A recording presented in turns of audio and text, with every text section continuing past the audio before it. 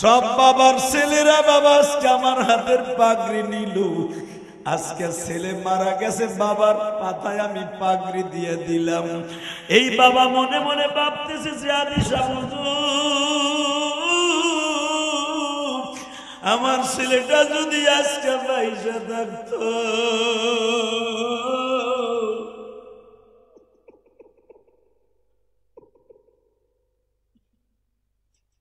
আমার ছেলেটাও তো আজকে পাগড়ি নিত।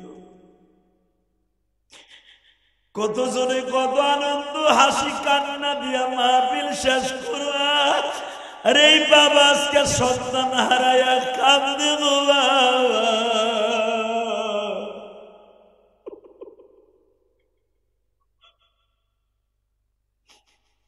এই বাবা দেখো কেমনে কান্দে।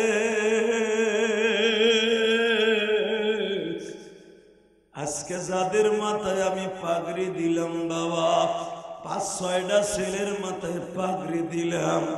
আমি যখন শুনলাম এই বাবার সন্তানটা সাতাইশ পারা মুখস্থ হওয়ার পরে মারা গেছে বাবা, এ মিডিয়া সারা দুনিয়া দেখায়া দেখো, এই হাফেজে কোরআনের মৃত্যু, হাফেজে কোরআনের বাবার চেহারা সারা দুনিয়ায় দেখা। বাপ কেমনি আজকে কান্দে সন্তান হারাইয়া, দেখো সন্তানের জায়গায় বাবার মাথায় আমি পাগড়ি দিয়ে দিছি। যখন আমি পাগড়িটা বাবার মাথায় পেঁচাইতেছিলাম, বাবা ছোট বাচ্চার মতো কত কত করে কাঁদছে। কার লাগিয়া বাদশ সুখের ঘর সব সারিয়া যাইবা বাজাই সব সারিয়া যাইবা বাজান। ওই যে অন্ধকার কব আল্লাহ তুমি মাফ করে।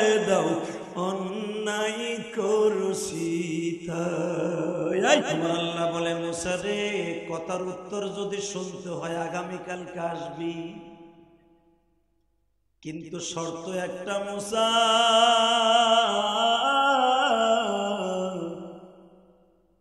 দুই গিলাস পানি নিয়ে সারা রাত দাঁড়ায় থাকবি।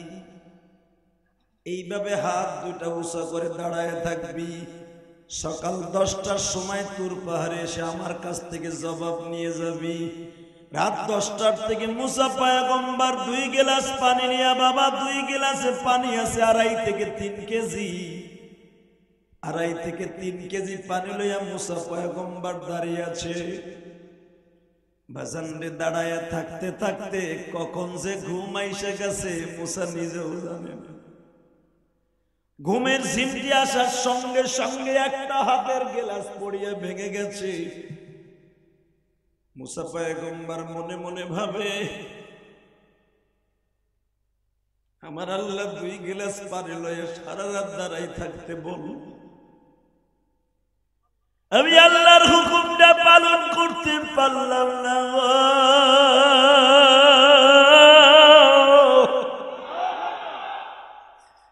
আমার আল্লাহ যদি রাগ হয়ে যায়, আমি কার কাছে যাব? তুমি বৌলা মাফ কইরা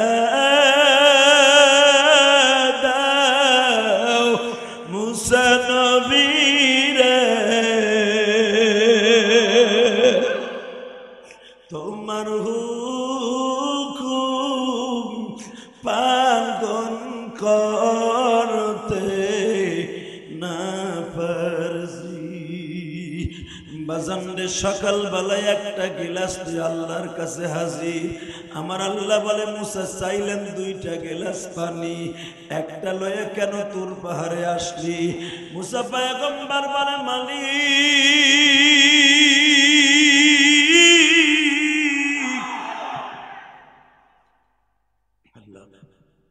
কোন পথে আমার ঘুমাইয়া পড়ছে আমি জানি না, একটা পড়ে ভেঙে গেছে। আমি কোন নেতা, নেত্রীর নাম আপনার জবান দিয়ে উচ্চারণ করতে বলিনি। এমন একজন নেতা, এমন একজন প্রেসিডেন্টের নাম নিতে বলেছেন যিনি আমার লালন কর্তা পালন কর্তা রেজেক দাতা কথা ঠিক না ঠিক আরও জোরে। আরও জোরে। এক চাষা মুখ করলেন কি চাচা? কি চিন্তা করেন বাবাজি? সব বাদ দেন। এমন একটা মাঠে বসছেন, এটা জান্নাতের বাগান। এখানে বসে আপনি একবার সুবহানাল্লাহ বলবেন, জান্নাতের ভিতরে আপনার নাম, আপনার বাবার নাম সহ আল্লাহ নিজে একটা সুবহানাল্লাহর গাছ লাগাই দিবেন। এক সাহাবি বললেন, হুজুর, ওই গাছটা কত বড় হবে? আমার নবী বললেন, জান্নাতের যুদ্ধের তেজস্ব ঘোড়া যদি পাঁচশত বছর পর্যন্ত ওই গাছের নিচ দিয়ে দৌড়ায়, ওই গাছের সাওয়াক অতিক্রম করা সম্ভব নয়। এক সাহাবি বললেন, হুজুর ওই গাছটা কেন লাগানো হবে? নবী আমার বললেন, তুমি বনগ্রাম মাদ্রাসায় বসে শাহজাদপুর সিরাজগঞ্জ বসে তুমি আমি আল্লাহকে না দেখে সুবহান আল্লাহ বলছিলে, আমি আল্লাহ তোমার তোমার প্রতি ভালোবাসা দিয়ে আমাকে সুবহান আল্লাহ বলে পবিত্র বলেছিল, আমিও তোমাকে পবিত্র একটা গাছ লাগাই দিয়েছি। এক সাহাবি বলে, হুজুর, এই গাছটা লাগলে আমার উপকারটা কি? এবার দিনটা নরম করবেন। আমার নবী বললেন, সাহাবিরা রে, ওই গাছটা আমার আল্লাহ এই জন্য রোপণ করবে। কেয়ামতের মাঠে যখন চারটা সূর্য চারদিক থেকে উদিত হবে, সূর্যর তাপে মাথার মগজগুলি ফুটান্ত ভাতের মতো বল খাবে ওই কঠিন দিবসে আমার মালিক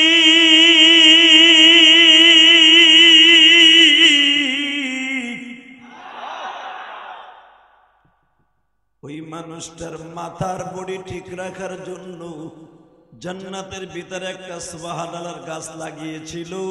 ওই সুবাহান আল্লাহ কারিক আল্লাহ গাছের নিচে বসাই দিবে। তাহলে সুবাহান আল্লাহ আলহামদুলিল্লাহ কি আসতে বলবেন? যত শক্তি আছে আমার আল্লাহরে খুশি করবেন। ইংসা ইংসা তাহলে এবার বলেন, সর্বময় ক্ষমতার মালিক কে? নামাজ পড়লে কে খুশি হয়? রোজা রাখলে কে খুশি হয়? জাকাত দিলে কে খুশি হয়? মদ খাইলে কে খুশি হয়? ভাই, এমনই হইব। আমার চাচাই কইছে, শয়তান। ঠিকই কইছে। ইনশাল্লাহ জানি আপনারা খুব ভালো মানুষ। সিরাজগঞ্জের মানুষ, খুব ভালো মানুষ। আলহামদুলিল্লাহ বলেন। আর একটা কাজ করলে বাজান, আল্লাহ আল্লাহ রাসুল জনজন খুশি হয় দুরুজ শরীফ পড়লে। কারও জবান বন্ধ রাখবেন না, আর পৃথিবীতে যত কোয়ালিটির দুরুদ আছে, সবচেয়ে দামি দুরুদ হলো দুরুদ ইব্রাহিম। এই দুরুদটা পড়তে দিয়ে কেউ কৃপণতা করবেন না। সবাই প্রেম লাগাইয়া, ভালোবাসা লাগাইয়া আমার সাথে পড়েন। আল্লাহ সাল্লি আলা মুহাম্মাদি আলা আলি মুহাম্মাদ। كما صليت على إبراهيم وعلى آل إبراهيم إنك حميد مجيد. اللهم بارك على محمد وعلى آل محمد كما باركت على إبراهيم. وعلى آل إبراهيم إنك حميد مجيد. لا إله إلا الله.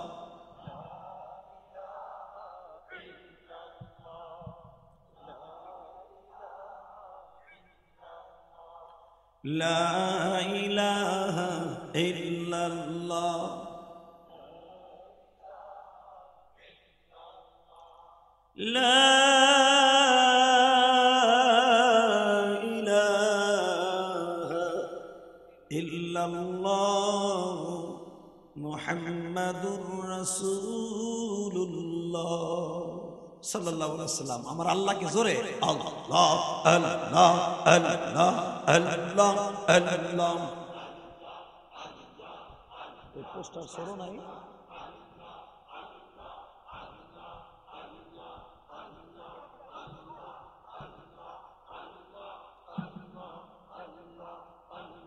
হয় না হয় না জোরে আল্লাহ আল্লাহ আল্লাহ আল্লাহ আল্লাহ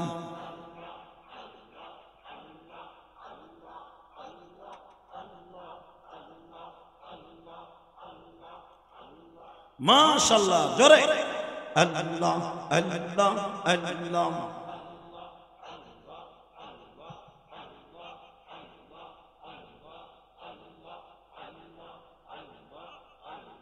لا إله إلا الله محمد رسول الله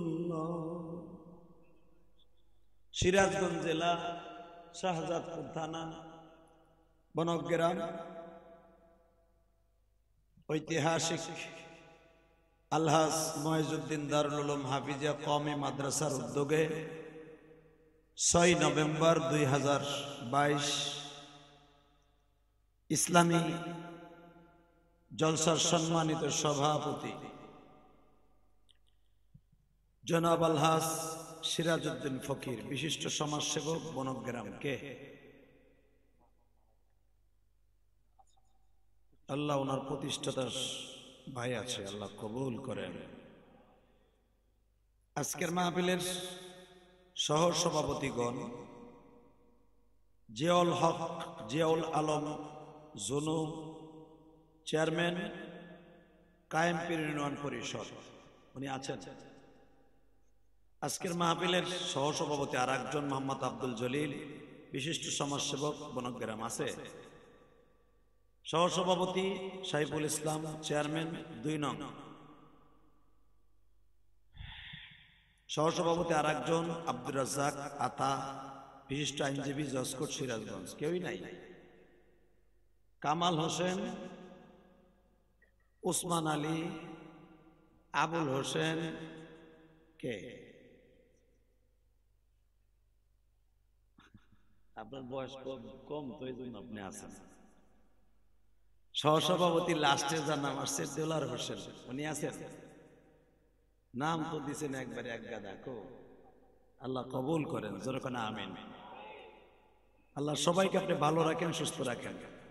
আজকের মাহফিলের প্রধান অতিথি, বিশিষ্ট শিক্ষাবিদ প্রফেসর, মেরিনা জাহান কবিতা মানের সংসদ সদস্য সিরাজগঞ্জ ছয়, শাহজাদপুর।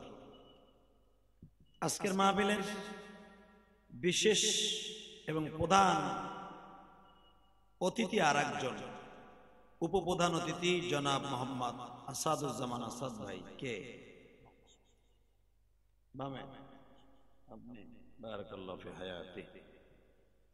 আজকের মাহফিলের বিশেষ অতিথি বৃন্দর নাম আসছে অন্তত পঞ্চাশ জনের মতো। এত নাম নেওয়ার সময় আমার নাই। সকলকে আমি ঢালাওভাবে আন্তরিক থেকে ধন্যবাদ জানাই। আজকের মাহফিলে যিনি আমার আগে ওয়াজ করেছেন আপনাদের এলাকার কৃতি সন্তান হয়তো আপনারা পছন্দ করেন নাই। যে এলাকার বাড়ির মুরগি ডাইলের সমান। বেচারা অনেক সুন্দর কথা বলেছেন এবং উনি করেছেন কাজ। কথা ঠিক না বেঠিক? আমরা প্রধান বক্তা আসি অনেক দূরের থেকে ঢাকা থেকে। দুইশো তিনশো কিলোমিটার রাস্তা অতিক্রম করে। আমাকে দিয়ালো ওয়াশ করায় আর হ্যাগো দিয়ালো মাদ্রাসার কাম করায়। তাগো কামটা হলো আসল কাম। কথা কর না কে?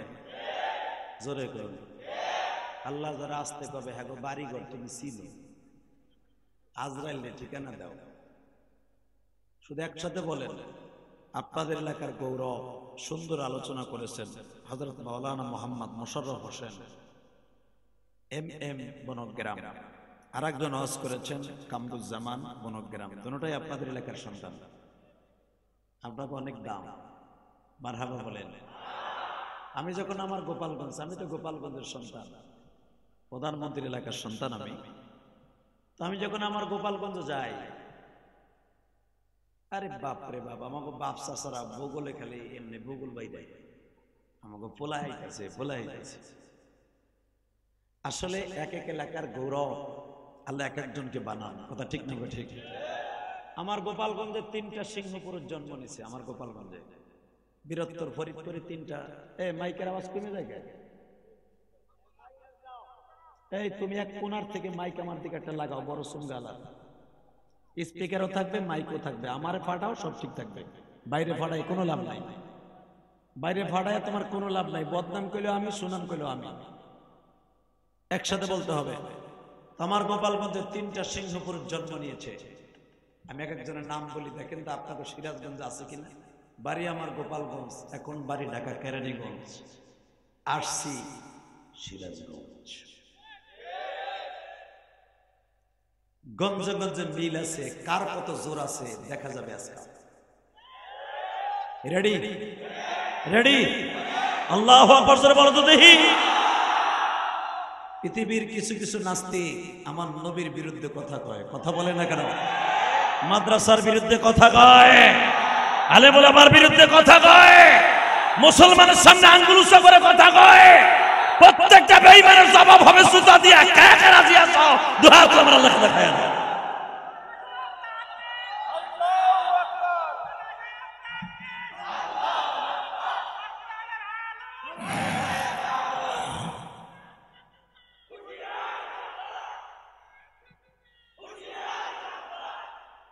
শেষ আরে বেটা, তাকবির দিবা মাহফিলের মাঝখান থেকে। দেখা যাবে সিরাজগঞ্জ আলাগো জোর বেশি গোপালগঞ্জ আলাগো নাই। তাহলে বোঝা যাবে বেটা তোমরা সত্যিকারে আসল পুরুষ, না তো হিজলা পুরুষ। মাহফিলের মাঝখান থেকে একজন মর্তে মুজাহিদ আশেকের রসুল প্রমাণ করে দাও। যদি আর একটা বার বাংলার জমিনে কোন নাস্তিক আমার নবীর চরিত্র নিয়ে কথা কয় কোন আলমের চরিত্র নিয়ে কথা কয়, আলমের বিরুদ্ধে কথা কয়, আর জুতা দিয়া বাইরাম কাকে রাজি আসো আর লেখা হাত দেখায় দাও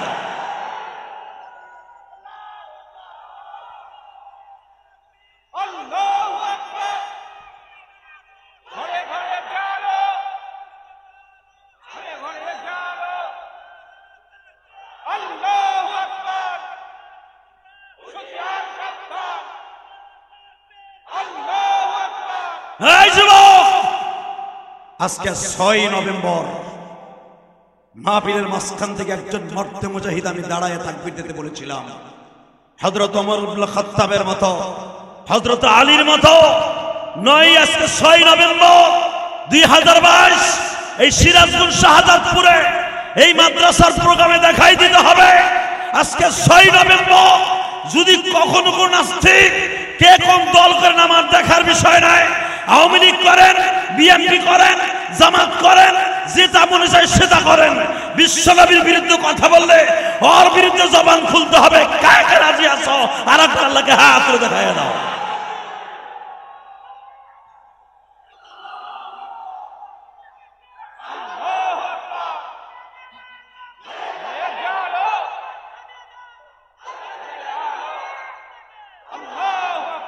মারহাবা। আপনি জিতে গেছেন, সবাই ঠকে গেছে। এই যুবক, শুধু একটা আওয়াজ দিবাই জমিনের মালিককে। আল্লাহ আছে না নাই? না চাচা মোদির দেশে আল্লাহ ঘুমায়। হোয়াইট হাউসে ঘুমাইতেছেন আল্লাহ? মুসা পয়গম্বর আল্লাহর একদিন জিগায়, আল্লাহ একটা কথা কই রাগ করো না। কয়, কি? আমি একদিন না ঘুমাইলে মাথা ঠিক থাকে না। আর তুমি কোটি কোটি বছর ঘুমাও না, বইয়েই রইছো, মাথা ঠিক থাকে নাই। হাসবেন না এখন কানবেন এ বাতাস বন্ধ হয়ে গেল। ঠিক আছে তাকবিরে তো ডরাইছো আল্লাহ তুই পরানে যদি অসুস্থ হয়ে গেলে আর একজনের কাছে দিবি বাতাস বন্ধ করিস না তোর সমস্যা আছে। হ্যাঁ যুবকের দিকে তাকাও। মুসা পায়গম্বার জিগায় আল্লাহ এটা কথা জিগাই কি? তুমি রাগ করো না। তুমি না ঘুমাইয়া এই পৃথিবী চালাও কেমনে? আমরা মানুষ, একদিন না ঘুমাইলে মাথা ঠিক থাকে না, তুমি রবের মাথা ঠিক থাকে কে এখন কান্না। আমার আল্লাহ বলে মুসা রে, কথার উত্তর যদি শুনতে হয়, আগামীকালকে আসবি। কিন্তু শর্ত একটা, মুসা।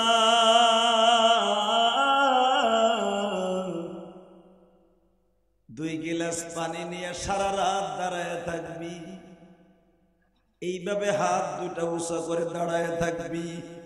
সকাল দশটার সময় তোর পাহাড়ে এসে আমার কাছ থেকে জবাব নিয়ে যাবি। রাত দশটার থেকে মুসা পায়গম্বার দুই গেলাস পানি নিয়ে, বাবা, দুই গেলাসে পানি আছে আড়াই থেকে তিন কেজি। আড়াই থেকে তিন কেজি পানি লইয়া মুসা পয়গম্বর দাঁড়িয়ে আছে। বাজানরে দাঁড়ায় থাকতে থাকতে কখন যে ঘুম আইসে গেছে, মুসা নিজেও জানে না।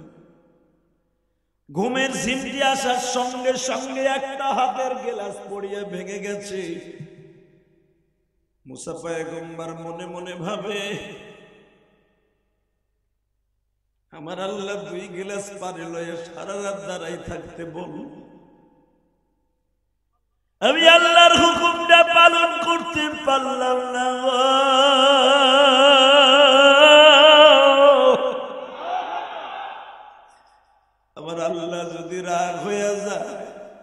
আমি কার কাছে যাব? তুমি বৌলা মাফ কইরা দাও। মুসা নবীরে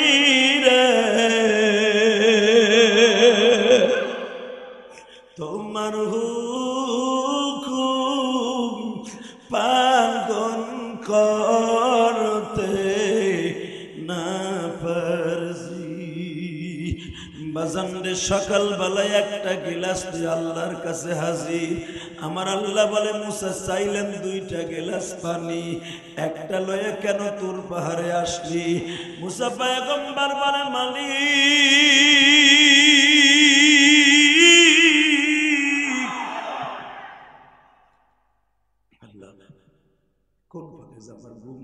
আমি জানি না, একটা পড়ে ভেঙে গেছে। এখন কান্না। কে বলেছে তুমি গুণা করছ? ষাট বছর, সত্তর বছর গুণা করছেন বাবা। গুণা জমাইতে ষাট বছর, বিশ বছর সময় লাগছে। আর আমার আল্লাহর মাফ করতে লাগবে মাত্র এক সেকেন্ড টাইম এক সেকেন্ড টাইম এক সেকেন্ড টাইম তোমার চোখে পানি দেখছে আল্লাহর সাথে সাথে মাফ করে দেবে। দেখো, কতজনে কত আশালয় আজকে ওয়াজে আইছেন, আমার ইউটিউবে এতদিন দেখছেন। সচককে দেখেন, আজকে এক নজর দেখতে অনেকে আইছেন। যে ইউটিউবে দেখি হুজুরে কান দেয় বাস্তবে পারে কিনা। আবার অনেকে আইছেন যে ইউটিউবে প্রতিদিন দেখি, জরতলা বক্তা ইউটিউবে দেখি না হে বাস্তবে আর আসলে ঠিক আছে কিনা। ঠিক না বেঠিক বাবা? সোশ্যাল মিডিয়ার যুগ এখন এখন কোনো বক্তা সারার সিস্টেম নাই। ও বাবা, আপনারা তো এক একজন এক এক নিয়ত নিয়ে আসছেন। শুধু এখন একটা লোককে আপনি দেখাবো, আর আপনি শুধু চোখের পানি ফেলে দোয়া করবেন।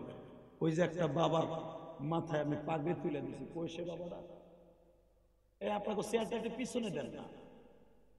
এই, আমার দিকে তাকান। ওই দিকে থাকেন আপনি, ওখানে বসেন।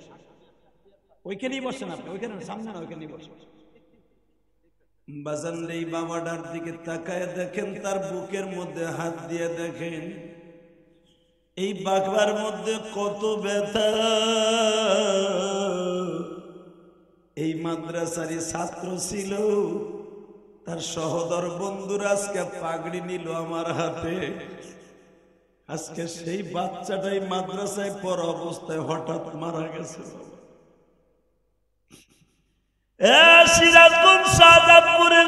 ভাইয়া রে। আজকে নভেম্বরের ছয় তারিখ, দেখো দুই ফোঁটা চোখের পানি পড়ে কিনা বাবা। এই হাফেজ কোরআনের বাবার দিকে তাকা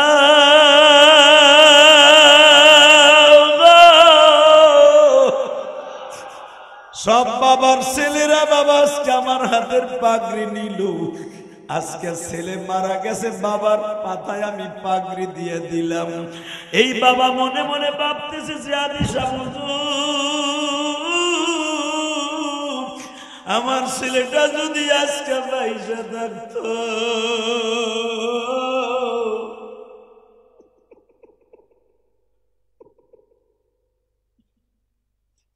আমার ছেলেটাও তো আজকে পাগড়ি নিত। কত জনে কত আনন্দ, হাসি, কান্না দিয়া মাহফিল শেষ করবা আরে বাবা আজকে সন্তান হারায়া কান্দে বাবা।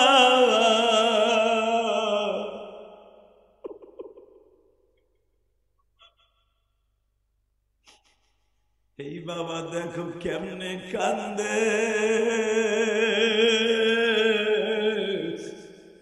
আজকে যাদের মাথায় আমি পাগড়ি দিলাম বাবা, পাঁচ, ছয়টা ছেলের মাথায় পাগড়ি দিলাম। আমি যখন শুনলাম এই বাবার সন্তানটা সাতাশ পারা মুখস্থ হওয়ার পরে মারা গেছে বাবা, এ মিডিয়া সারা দুনিয়া দেখায়া দেখো, এই হাফেজে কোরআনের মৃত্যু হাফেজে কোরআনের বাবার চেহারা সারা দুনিয়ায় দেখা। বাপ কেমনি আজকে কান্দে সন্তান হারাইয়া। দেখো সন্তানের জায়গায় বাবার মাথায় আমি পাগড়ি দিয়ে দিছি। যখন আমি পাগড়িটা বাবার মাথায় পেঁচাইতেছিলাম, বাবা ছোট বাচ্চার মতো খত খত করে কাঁদছে। কার লাগিয়া বদস সুখের ঘর। সব সারিয়া যাইবা বাজাই সব সারিয়া যাইবা বাজান ওই যে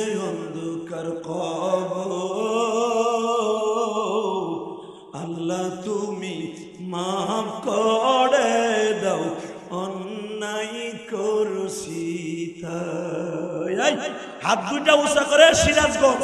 এ সিরাজগঞ্জ, শাহজাদপুরে বাইরা। আজকে ছয় নভেম্বর, দুই হাত উঁচা করে গলা ফাটাইয়া এই হাফিজে কোরআনের বাবার সাথে জুড়ে আল্লাহ রসুর একটা ডাক দাও দাও, ডাক দাও। ডাক দে যুবক, ডাক দে। এ সিরাজগঞ্জের যুবক, ডাক দে। ছয় নভেম্বর জুড়ে ডাক দে ভাই ডাক দে। ডাক দে ডাক দে ডাক দে ডাক দে। আল্লাহ তুমি মাফ করে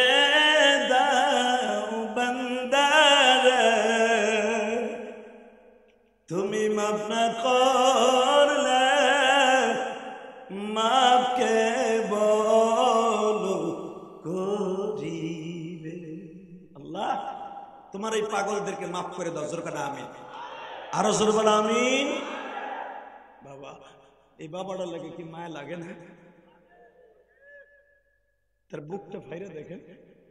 তার বুকের ব্যথা পৃথিবীতে আল্লাহ ছাড়া কেউ তবে একটা ডিক্লেয়ার দিয়ে গেলাম। যেই যদি এই মাদ্রাসা কোনোদিন বড় হয়, যদি এই মাদ্রাসা কবুল হয়, একমাত্র এই ছেলেটার কারণে কবুল হয়ে যাবে। এই মাদ্রাসার কোনো অভাব থাকবে না, আমি মুসাফির বলে গেলাম। এখন দেখতেছেন নিগি ডিগি নিগি ডিগি বাতি জলে আর নেবে না। লিউতফিউ নূরাল্লাহ বিআফওয়াহিহিম। ইসলামের বাতি, মাদ্রাসা, কওমি মাদ্রাসার বাতি, হেফজোখানার বাতি আস্তে আস্তে জ্বলে দপ করে না। কথা কর না কেন? এটা স্কুল, হাই স্কুল আর কলেজ না। সরকারের অনুদান পেয়ে ধাপ করে বিল্ডিং হয়ে যাবে। ইসলামের বাতি আস্তে আস্তে জ্বলবে। ঠিক এই বাতি দেখবেন একদিন আস্তে আস্তে জ্বলতেছে, একদিন ধাপ করে চলে যাবে। এমন একজন আল্লাহর অলির চোখ এখানে পড়ে যাবে। তার দোয়ার খাতির আল্লাহর এক বান্দাকে আল্লাহ পাঠাই দেবে যা তিন চারতলা বিল্ডিং করে দে। এই যে জায়গা যেখানে মাহফিল এই জায়গার মালিক একদিন বলবে, শুনলাম আসল যে প্রতিষ্ঠাতা, উনি আজকে দুনিয়ায় নাই। ঠিক না বেটা? ওনার মধ্যে একজন আল্লাহর অলিরে খাড়া করে দেবে, যা বাদশে আরও দুই বিঘা জায়গা লাগবে, দিয়ে সবই তো ধুয়ে কবরে যাবি দে না তোর জায়গাটা দিয়ে কবরে। আমি মৌলা তোর জান্নাতের জায়গা করে দেব। হতে পারে না? পারে না? পারে। আমি বলে গেলাম মুসাফির হিসাবে একদিন মাদ্রাসা অনেক বড় হয়ে যাবে। আর বড় হওয়ার পিছনে আমার সন্তানটা হবে এক নম্বর ওসিলা। কষ্ট হইতেছে ভাই। শুধু আমার দিকে তাকাই বলেন, সর্বময় ক্ষমতার মালিক কে? বাবা, প্রতিদিন চিল্লাইতে হয়তো কারণ গোলা তার এমন এসপিএন নাই যে গাড়ির চাকার মতো একটু ড্যামেজ হয়ে গেছে, হাওয়া লিক করছে আর একটা পাল্টাই দেয় এটা তো একটাই। তেইশ বছর ধরে খালি চলতে আছে, তেইশ বছর। আপনি ভাবেন, আমি আট বছর আগে বক্তৃতা দিছি না? তেইশ বছর ধরে ওয়াশ করি, তেইশ বছর, বিশ বছর আরও তিন বছর। যদিও দেখেন দাড়ি মোস পাকে নাই। বয়স কিন্তু কম না। গোপালগঞ্জ বাড়ি তো, আমার গোপালগঞ্জ লাগো পাকে দেরি করে। দেন না আমার শাশুড়ি শেখ হাসিনা অর্ধেক পাকছে বেচারির বয়স আশির উপরে। অর্ধেক পাকছে বঙ্গবন্ধু তো অর্ধেক পাকার করে মারা গেছে। কথা বলে নাকি আমার গোপালগঞ্জ দেরি করে পাকে তো। শুধু একসাথে বলবেন এই জমিনের মালিককে আল্লাহ আছে না? আজকে প্রমাণ হয়ে যাবে আল্লাহ আছে। কবরে যাইবা? যাইয়া দেখবা না তোমার নেতা বইয়ে আছে যায় যারা বঙ্গবন্ধুকে যায় দেখবেন না, যারা আওয়ামী লীগ করেন, যে আমার নেতা কবরে। যারা দানের শীষ করেন যায় দেখবেন না জিয়াউর রহমান বসা কবরে। যারা জামাত ইসলাম করেন যায় দেখবেন না মৌদুদি বয়ে রয়েছে। যারা জাতীয় পার্টি করেন, দেখবেন না চাষা ইসাদ বয়ে রয়েছে। হে তো নিজেই গেছে কথা কর না কে? কেউ রে যে পাবেন না, আর আমাকে হুজুর দল যারা করেন যায় দেখবেন না কোন হুজুর আপনার পাশে নেই। একজন মাত্র হুজুর বয়ে রয়েছে কবর ছিল আমার বিশ্ব। জোরে জোরে জোরে জোরে জোরে জোরে। আর কবরে যাওয়ার সাথে জিজ্ঞেস করবে, মার রব্বুক ওমান দিনুক ওমান নাবিয়ুক, মান হাদার রজুল এ চান্দুর পো এই ছবিটার মানুষের চেনস নি। যদি কোন, চিনি। আল্লাহ কবে, ওয়া আলবিশুহু মিনাল জান্নাহ, ওয়া আবশিরুহু মিনাল জান্নাহ, ফাফাতাহনা আবওয়াবাস সামা ওরে বলে দে চান্দুর পরে তোর জন্য জান্নাতের খোঁজ খবরি তোর জন্য জান্নাতের দরজা খুলে দেওয়া হইল। বিছানা বিছায় দে, আরামে ঘুমায় থাক। আর যদি নেতা নবী মোহাম্মদের না মানেন, কোরআনের বিধান না মানেন, আপনার জবান দিয়ে বের হয়ে যাবে, লাদ্রি লাদ্রি, আমি চিনিও না, জানিও না। কানা ফেরেস্তা করবে দর হৌরের পুত্রের দর ওরে ফারুমের মুরগির মতো বয়লা বানায় হেলা ঘুষাইয়া, কথা কন না কেন মুসলমানের বলা? এটা আমি কই নাই, কোরআন শরীফে আপনি ভাবতে পারেন, আমি গোপালগঞ্জ থেকে লই এসেছি, সিরাজগঞ্জ। না। কোরআনে আল্লাহ বলেন, যখনই কবে যে আমি চিনি না, আল্লাহ কোরআনে বলেন, আয়াত, তালবাহু উজুহাহুমুন নার। তালবা মানে মার খাবা উজুহাহুমুন নার মানে ওর চেহারার উপরে। উজুহ মানে চেহারা, আল্লাহ কোরআনে বলেন, প্রথম খাবা মারবে আগুনের হাত দিয়া ফেরেস্তায় উজুহাহুমুন নার নার মানে আগুন। আগুনের হাত দিয়ে প্রথম থাবা মারবে মুখের উপরে। কারণ মুখ দিয়া আমার নবীর পক্ষে একটা প্রতিবাদের কণ্ঠ দোষ নাই। নুপুর শর্মার মতো একটা নটচুকি বেশ্যা। শ্যামান নবীর চরিত্র নিয়ে কথা কয়, কথা বলে না কেন? আজকে দলের কারণে মুখ খুলতে পারে না চান্দুর হো চান্দুর মরে লো, দেখবা তোমার কোন নেতা কবরে আছে, কথা কন না কেন? আমি আওয়ামী লীগ করি আর বিএনপি করি। আমি আম- গোপালগঞ্জ টুঙ্গিপাড়ার সন্তান, আমার সাথে বড় আওয়ামী লীগ কেনারে বেড়াই দেশে। শুধু একটা আওয়াজ দিয়ে বলতে চাই, আওয়ামী লীগ করি আর বিএমপি করি, আমার নবীর বিরুদ্ধে কথা বলার জায়গায় পুঁতে ফেলবে। রাজি আসো না নাই? কে কে রাজি আসো আর একবার আল্লাহকে হাত দেখায় দাও আল্লাহু আকবার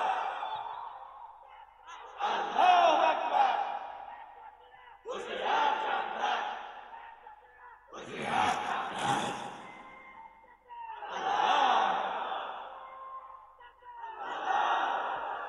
আল্লাহ এই কণ্ঠগুলাকে আপনি কাউসারের বিনিময়ে কিনে নেন আল্লাহ। এর এমনই সন্তান, সারাদিন কাজ করছে। সারাদিন কাজ করছে। হয়তো কেউ রিক্সা চালাইছে, কেউ অটো রিক্সা চালাইছে। কেউ হয়তো ইরিধানের জমিতে কাজ করছে। কেউ হয়তো পেঁয়াজের খেতে কাজ করছে মালিক। শুধু তোমার কাছে একটা আওয়াজ শুনতে চাই। যারা তোমার নবীর প্রেম দিয়া এই ময়দানটাকে মাথায় তুলেছে, কেয়ামতের মাঠে বিশ্বনবীর সাথে তাদের দেখা করাই দিবা। এবার বলতে হবে সর্বময় ক্ষমতার মালিককে। আল্লাহ আছে না? নবী- নবীরে যারা ভালোবাসবে তারাই জান্নাতি। একটা কবিতা দিয়ে শুরু করব আজকে ওয়াজ। ইনশা পড়বেন তো আমার সাথে? বলেন। নবী আমার জান, নবী আমার প্রাণ, জোরে নবী আমার এটা আমি বলি নাই। হুজুরের পালক পুত্র জায়েদ বলেছিলেন, জাবের রাদিয়াল্লাহু বলেছিলেন, বুখারী হাদিসের তর্জমা বলেন। নবী আমার জান, নবী আমার জোরে, নবী আমার নবীর জন্ম দিতে পারি আমাদের জীবন, নবীর জন্ম দিতে পারি